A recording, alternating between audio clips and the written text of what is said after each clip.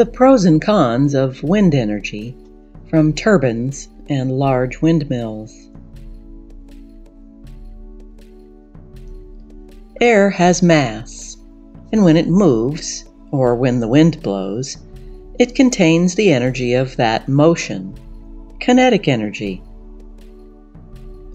A portion of that energy can be converted into other forms, such as mechanical force or electricity. Then we can use it to perform work. Mechanical energy from wind is commonly used for pumping water in rural or remote places. The farm windmill is still a familiar sight in many rural areas. Mechanical energy converted from wind can also be used for other purposes, such as sawing logs, grinding grain, or propelling sailboats. By contrast, wind powered electric turbines generate electricity for homes and businesses, and for sale to utilities. Approximately 0.25%, that's one fourth of 1%, of the solar energy that reaches the lower atmosphere is transformed into wind. Although it is just a minuscule percentage, the absolute amount of energy is enormous. According to one estimate, North Dakota alone is theoretically capable of producing enough wind generated power to meet more than one third of U.S. electricity demand. Wind speed is a crucial element in determining whether a place is a suitable site for installing a wind energy facility. Generally, a minimum annual average wind speed of 13 miles per hour is necessary for a utility scale wind power plant. In addition to being weather dependent, intermittent, and unreliable, wind turbines cover vast areas of land and affect scenic views. They interrupt local wind flow, temperature, and moisture. They kill bats and birds of prey with no penalties under migratory bird or endangered species law. They have relatively short lifespans and require massive amounts of raw materials compared to coal, gas, hydroelectric, or nuclear plants.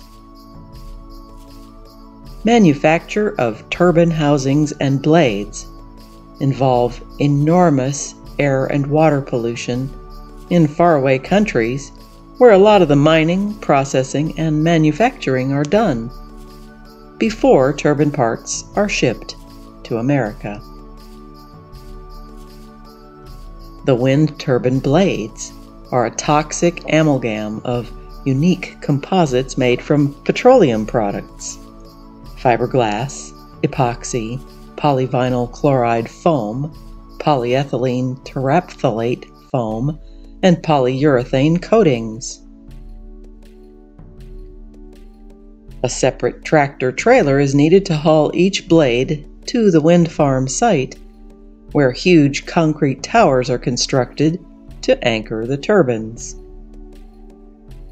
In addition, significant concrete and asphalt is needed to upgrade rural roads to handle heavy turbine components. Manufacturing concrete is already the third largest emitter of carbon dioxide after burning coal, oil, and natural gas. It also requires nearly a tenth of the world's industrial water use. At the end of their lifespan, when turbine blades need replacement, again a separate tractor trailer is needed to haul each blade away, this time to a landfill.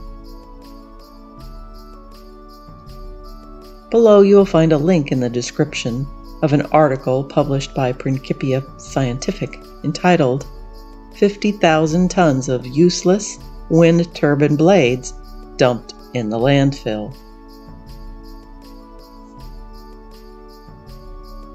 The amount of wind turbine blades slated for waste disposal is forecast to quadruple over the next 15 years as a great deal more blades reach their 15 to 20 year lifespan. Furthermore, the size and length of the newly installed wind turbine blades are now twice as large as they were 20 to 30 years ago. Unfortunately, due to the way the blades are manufactured, it isn't economical or practical to recycle them, even though some small scale recycling has been tried. Basically, there's just too much plastic composite epoxy that isn't worth recycling. We will soon have to permit entirely new landfills simply to handle wind turbine waste. And that's on top of mountains of used solar panels and dead battery waste. Yet advocates would have you believe that wind energy is cheap, clean, green, renewable, sustainable.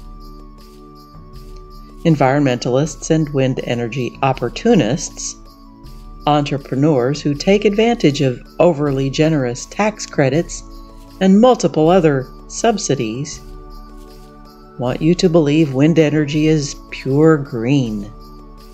They never tell you about the costs or the environmental destruction that they have hidden from you for decades.